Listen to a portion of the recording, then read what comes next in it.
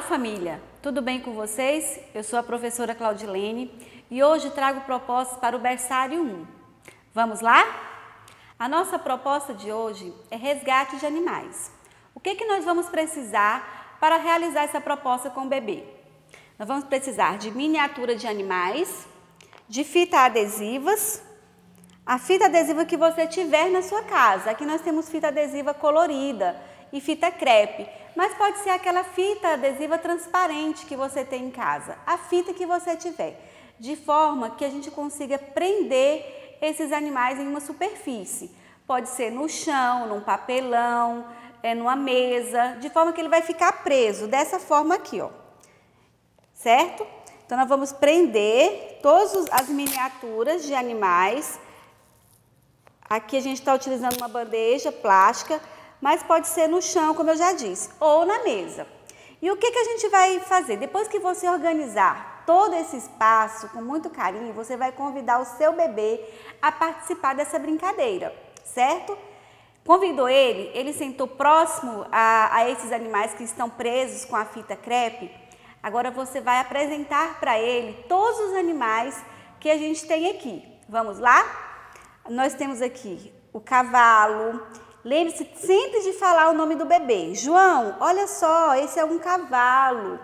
Esse aqui, João, é uma girafa. Aqui, João, é o leão. Aqui, João, é uma raposa. E aqui é um tigre. E aí você vai conversando com ele sobre todos os animais que você tem aqui disposto. Depois que já conversou, ele repetiu com você o nome dos animais, aí você vai pedir que o seu bebê retire a fita que está no animal. Vamos resgatar todos os animais porque eles estão é, presos com a fita, certo? Então ele vai tentar fazer isso, né, com o dedinho, olha. Para a gente que é adulto é bem fácil, mas para o bebê vai ser uma tarefa bem complexa, tá? Porque isso aqui, à medida que ele vai fazendo isso, ele está trabalhando a coordenação motora fina, né? Onde ele está trabalhando o formato de pinça. E aí você vai fazendo isso com todos os animais que estão presos com a fita. E aí você vai conversando. Qual animal que você tirou agora, João? Ah, olha só, ele tirou a girafa. Vamos tirar agora o leão. Aí ele vai tentar tirar o leão. Olha só o leão, que cor é o leão? E aí você vai explorando toda a proposta com o bebê. Então é isso. De forma que quando você perceber que o bebê já não tem mais nenhum interesse por essa brincadeira, é hora de terminarmos é, a proposta. Então convide o seu bebê a organizar o espaço da casa. Mostre para ele que a brincadeira está terminando, comece a recolher tudo, porque é muito importante que ele participe também desse processo de organização do ambiente. Tá bom? Olá, famílias! Dando continuidade às propostas de hoje, agora trazemos a proposta Pintura na tela sensorial com tintas naturais. Para realizar a proposta de hoje, iremos utilizar alguns materiais. Primeiro, algum adulto vai preparar a tinta na cozinha da casa com alguns materiais comestíveis, né? Olha só, beterraba, duas beterrabas, duas cenouras e duas folhas de couve. Uma colher e meia de amido de milho e meio copo de água. Primeiro você vai preparar a tinta vermelha. Então você vai colocar no liquidificador a beterraba, uma colher e meia de amido e meio copo de água. Depois que já estiver pronta a tinta vermelha, é hora de preparar a outra cor. Com a cenoura, você vai preparar a cor laranja. Você vai colocar duas cenouras, uma colher e meia de amido de milho e meio copo de água. Agora nós vamos preparar a cor verde. Vamos utilizar duas folhas de couve, uma colher e meia de amido e meio copo de água. Preparou a tinta? Já está todas as tintas aqui?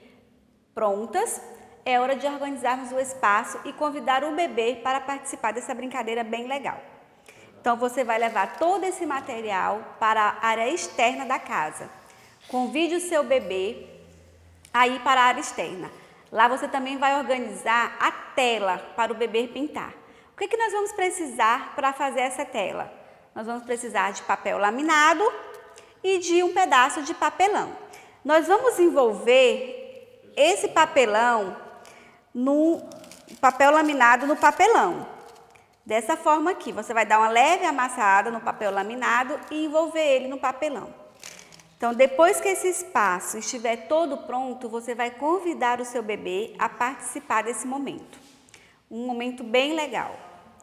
E aí você vai apresentar para ele, olha só, o que, que nós utilizamos para fazer a cor vermelha? Nós utilizamos beterraba.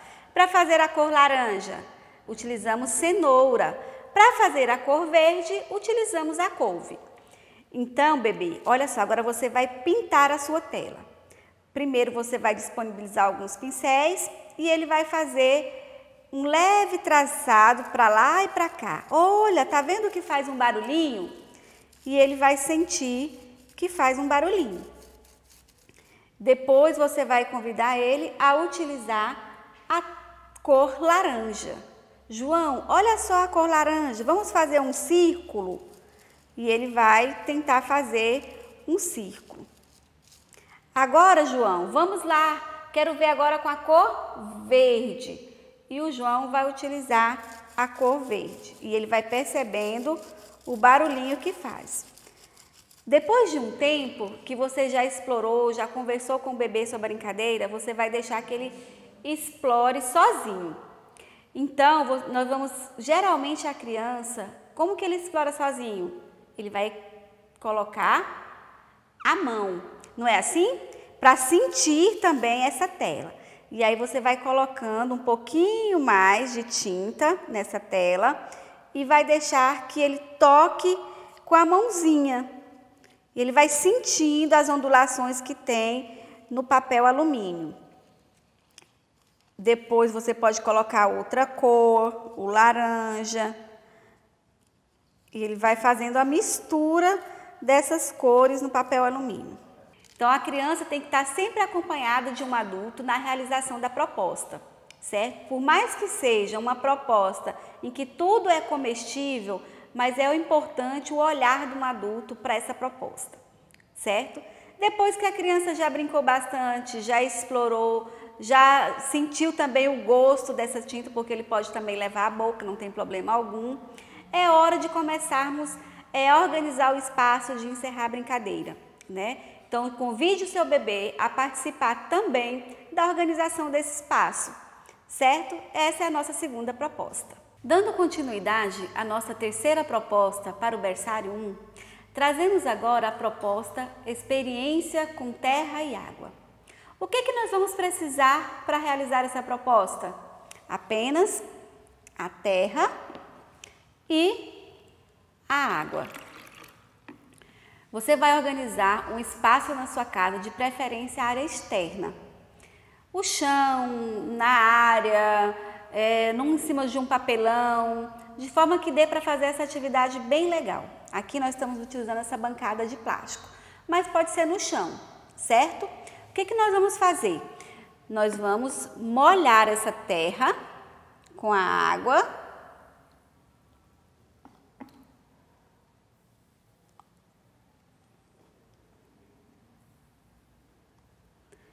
E a gente vai fazendo a mistura. Você vai convidar o bebê para tocar né, nessa terra seca e depois na terra molhada. De acordo que você vai fazendo essa massa,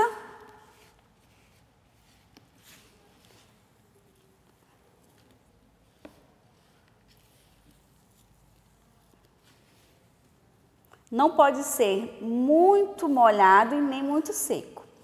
Depois que já estiver pronto essa massa com a terra, e o bebê vai participando desse processo, ele vai sentindo a terra se misturando com a água. Aí você vai espalhar essa terra no chão. Você vai espalhando ela aqui. Se você vê que ela ainda está dura, tá vendo? A minha ainda não está no ponto. Que, que a gente vai fazer? Nós vamos molhar mais um pouquinho.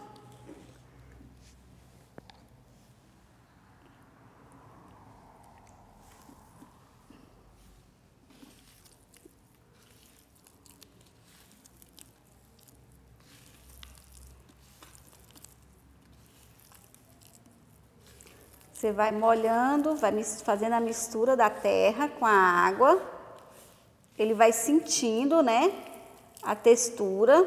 Importante sempre conversar com o bebê sobre a diferença da terra seca para a terra molhada. Depois que está pronta, você vai espalhar essa terra na superfície no chão, no papelão, aonde você achar que vai ficar legal.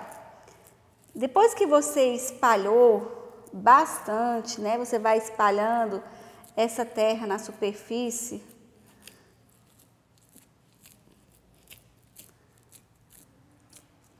Agora você vai convidar o seu bebê a deixar registrado nessa superfície a sua marca, a marca dele com as suas mãozinhas.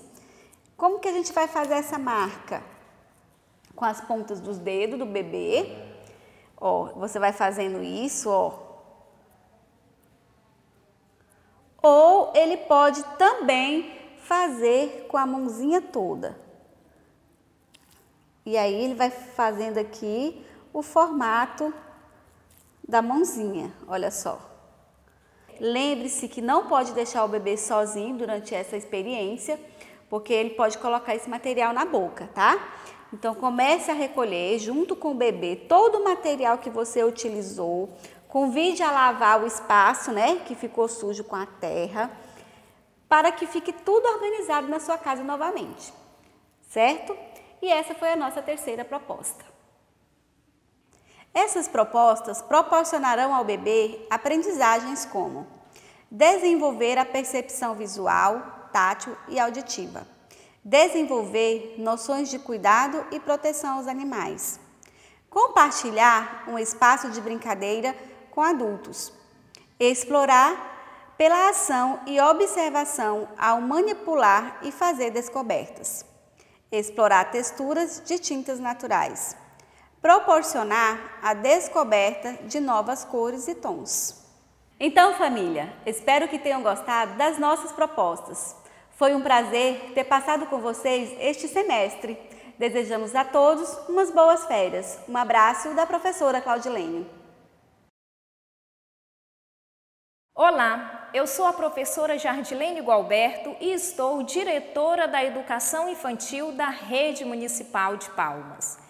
Estamos concluindo o ano letivo de 2020, um período desafiador que nos fez ressignificar a oferta da educação. Para a educação infantil, neste período disponibilizamos propostas de interações e brincadeiras por meio dos campos de experiências, buscando assegurar o direito das crianças, conforme nos orienta a BNCC e o documento curricular do Tocantins. É muito gratificante perceber que as famílias estão participando ativamente deste processo, mesmo diante dos desafios. Então, o que nos resta nessa reta final é agradecer.